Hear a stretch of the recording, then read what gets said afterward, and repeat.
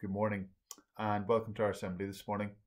I want to start off our assembly by thanking you uh, for how well you have coped with the remote learning process. Thank you for the way that you've engaged in lessons and thank you for how hard you have worked. Uh, the feedback I've had from staff and pupils alike is that it, it's been a very constructive and helpful process. So well done so far. Uh, and uh, in particular, I'd like to thank the staff uh, who have made it possible, um, particularly IT, um, because it's not been an easy task by any stretch of the imagination. I think it's fair to say that we're living through unprecedented times.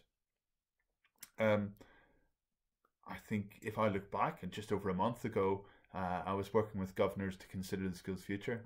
Um, and I was incredibly excited by our proposed new extensive building project.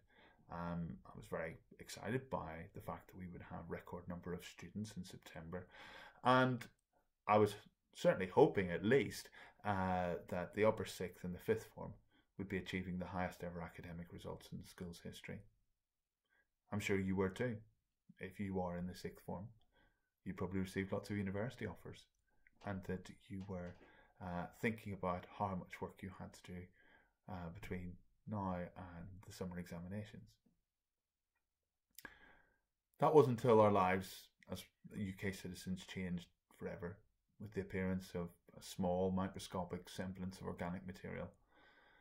And it appears that the coronavirus has changed the way we live in our day to day lives at present, and quite possibly for into the future.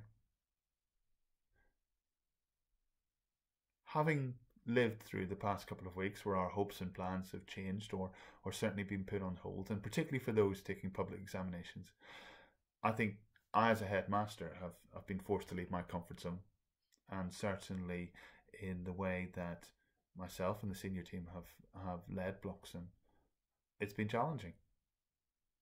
And when I was asked to do this assembly, I, I did sit down and, and I reflected yesterday um, about what's happened in the past couple of weeks.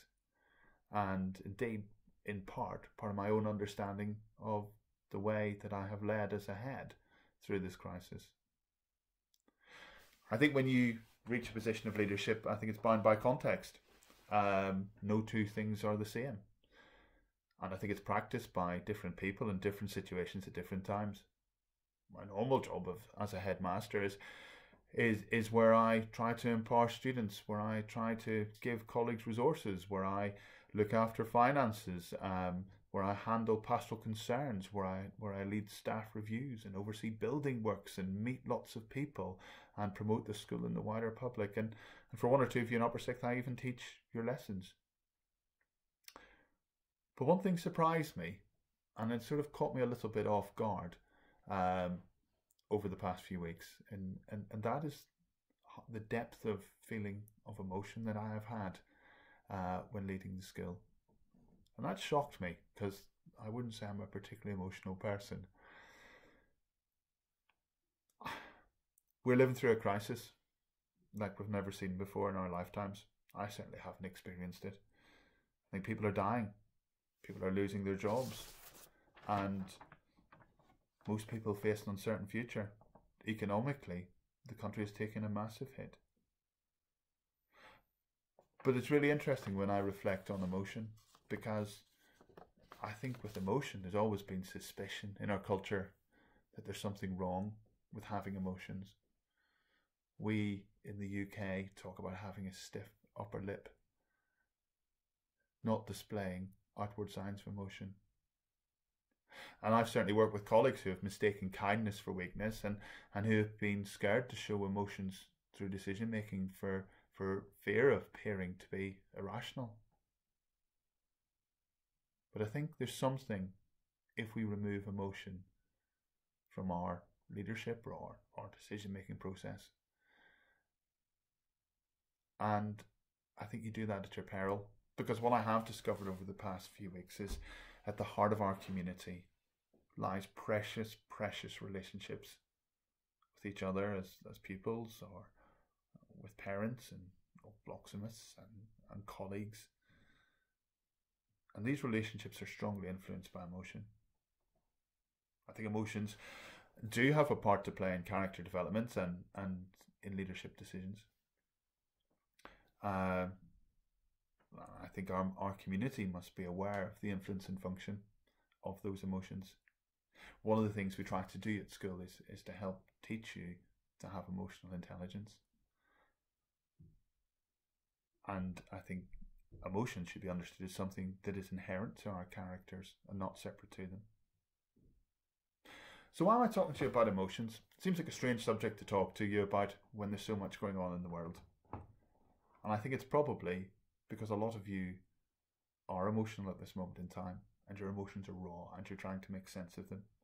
I suspect a lot of you have a sense of frustration at having your liberty restricted by the current lockdown situation um, particularly when the Easter holidays are just around the corner and you can't do what you want to do.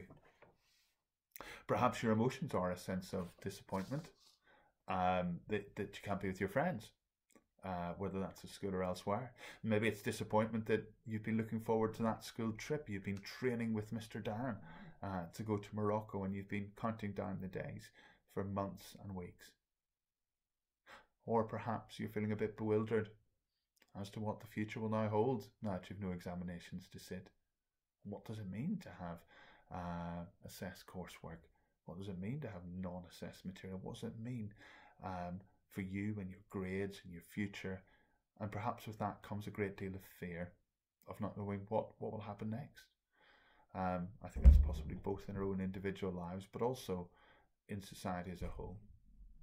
Perhaps there's even sadness as people you know are affected by the coronavirus. I've discovered over the past few weeks that actually it's okay to be emotional.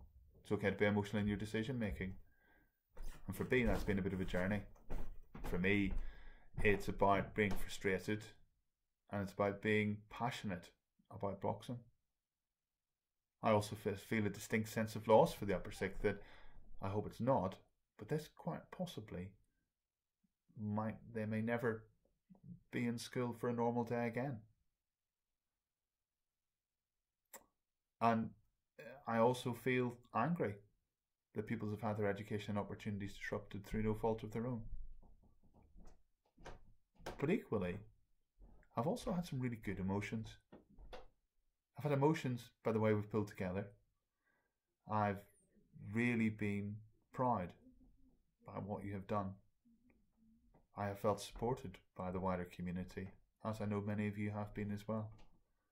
I've been delighted by the way staff have pulled together. And I've been thankful for friends and for family and for health and for provision.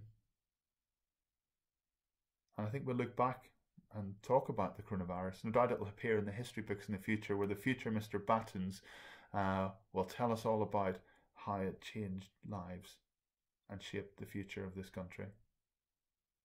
And that might be perhaps for the better. Because we're going to be locked down. We're going to um, be restricted to our homes. But that's also an opportunity. That's an opportunity to connect with your family, a chance to spend time with them, a chance to get to know them, to see them as people. And maybe maybe just afterwards, the coronavirus, in all this disaster, might also have some benefit. And that's perhaps where we appreciate what we have importance of friends, importance of family, and the gift of hope. So this morning, although things look bleak outside, although things look desperate in society at present,